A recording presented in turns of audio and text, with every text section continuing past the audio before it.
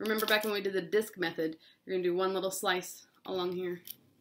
And the volume of the disc is pi r squared because it's a cylinder. Oops. And the radius of the cylinder is this y value right here, the function value. The height of the cylinder is the dx, the change.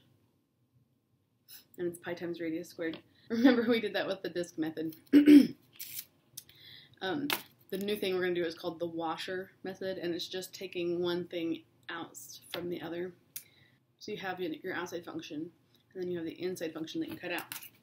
So that's like this one right here, where we took these chunks out also, just as a visual. But now we want to focus on just this one right here. And so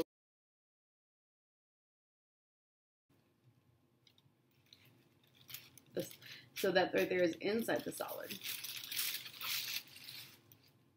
Here to here is the outside radius, and from here to here is the inside radius.